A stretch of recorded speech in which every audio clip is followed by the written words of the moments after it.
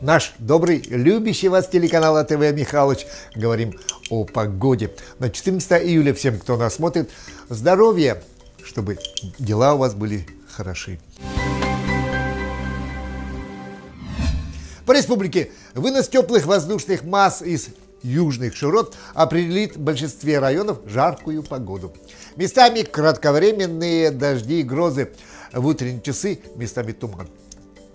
Ветер западный 5-10 метров в секунду, при грозах порывистый до 15 метров в секунду. Температура воздуха северные районы это Курумкан Яравна, ночью плюс 8-13, по северо-востоку до плюс 3. Днем плюс 23-28, при дожде до плюс 18.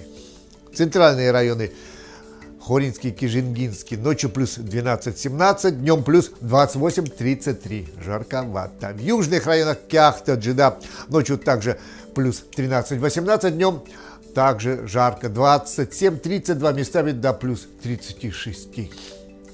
Наша любимая столица. Утром возможен небольшой долгожданный дождь. Ветер западный 5-10, днем до 13 метров в секунду. Температура ночью плюс 15-17, днем максимальная 32-34.